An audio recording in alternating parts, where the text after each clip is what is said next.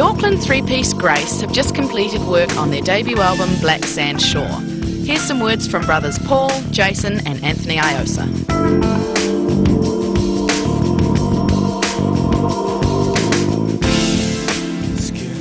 all started with our father, uh, who uh, put us through classical training and uh, through jazz tutors around Auckland and um, all our specific instruments, and um, basically he uh, inspired us through his um, through his record collection.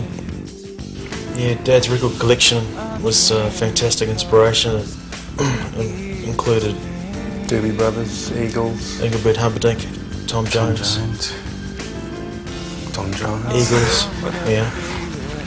Shirley Bassey, Elton John, Diana Ross, Diana Ross, Supremes, Elvis Presley, all the fantastic people that made that era fantastic. Good answer, Anthony.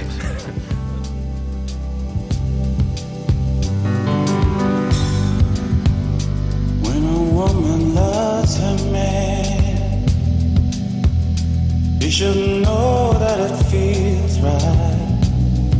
A burning cry. Stay together, strong forever. We wanted to move away solely from working on a, com- on a computer and um, getting a rhythm track going.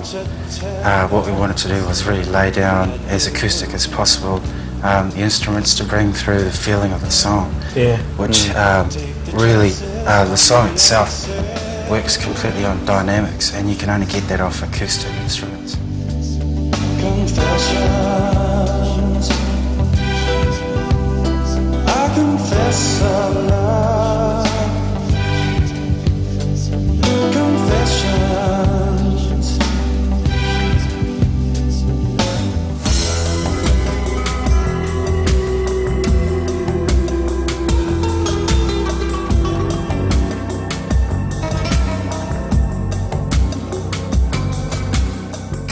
That's, uh, that's Yeah, the, the Latin department. feel of the album that's Yeah. um, comes across strongly and well more Corwell than, than Yeah. Confessions.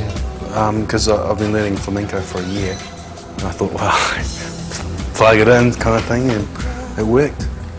So it's all it's all about um, our three different styles. We're all into different yeah, music, so incorporating yeah, yeah, it styles. just blends together. Drugs and they won't be